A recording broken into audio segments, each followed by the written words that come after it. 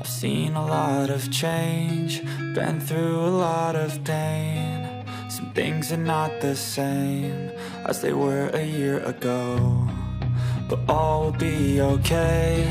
I move on each Salam sejahtera dan salam Malaysia Madani. Selamat datang ke Info Viral Kini. Channel ini menyediakan isu-isu terkini mengenai artis dalam dan luar negara yang semestinya terkini dan terhangat di pasaran.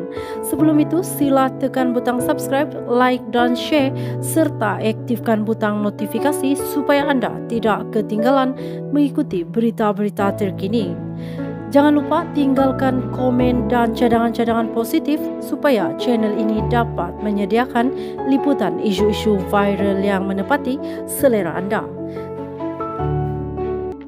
Sumber berita dipetik daripada mykmu.net. Berita terkini. Ibu Syamsul beri gambaran berdamai dengan Sarah mahal harganya. Ibu kepada pengarah sensasi Syamsul Yusof iaitu Datin Fatimah Ismail tidak berhenti memberi sokongan padu terhadap menantunya pelakon Putri Sarah Liana biarpun ada diminta suaminya Dato Yusuf Aslam agar berhenti mengeluarkan kenyataan tentang kemelut anak menantunya, terbaru Fatima menyatakan kesediaan melihat perdamaian Syamsul dan Sarah namun ada syarat yang harus dipatuhi anak lelakinya itu. Fatima bagaimanapun tidak memperincikan syarat tersebut. Dalam waktu sama, Fatima juga menyokong sekiranya Putri Sarah tetap dengan keputusan ingin bercerai dan meneruskan kehidupan bersama dua cahaya mata. Kami mohon Putri Sarah berdamai dengan bersyarat, tetapi dia berhak membuat keputusan sendiri untuk meneruskan kehidupannya bersama anak-anak. Sementara itu, menerusi hantaran di Instagram Stories, Fatima memahami dengan penderitaan yang ditanggung oleh pemilik nama Putri Sarah Liana Megat Kamarudin selama lima tahun.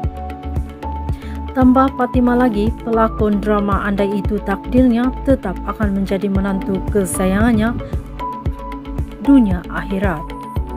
Kemelut rumah tangga Syamsul dan Putri Sarah terus berpanjangan apabila pengarah itu enggan melafazkan cerai pada 7 Mac lalu atas alasan yakin rumah tangga mereka boleh diselamatkan selain masih menyimpan perasaan sayang. Susulan itu, Mahkamah Rendah Syariah memerintahkan Syamsul dan Putri Sarah supaya melantik wakil jawatan kuasa pendamai JKP namun pasangan ini gagal menjumpai jalan penyelesaian di Pejabat Agama Islam wilayah Persekutuan Kuala Lumpur, Jawi pada 24 Mac lalu. Pada 21 Mac, Syamsul telah memfailkan permohonan nusyus terhadap Putri Sarah di Mahkamah Rendah Syariah Gombak Timur, Selangor. Sehari kemudian, Putri Sarah pula hadir ke Mahkamah Tinggi Syariah Kuala Lumpur bagi memfailkan permohonan hadana pada 22 Mac. Konflik rumah tangga pasangan itu mula diperkatakan sejak tahun 2020 tetapi Syamsul tidak pernah membuka mulut mengenainya. Bagaimanapun pada Januari lalu Syamsul akhirnya mengaku sudah bernikah dengan orang ketiga yang didakwa menjadi puncak keretakan rumah tangganya bersama Sarah iaitu Ira Kazar. Susulan pendedahan tersebut, topik mengenai kemelut rumah tangga Putri Sarah dan Syamsul serta kehadiran Ira Khazar menjadi topik hangat dalam kalangan netizen.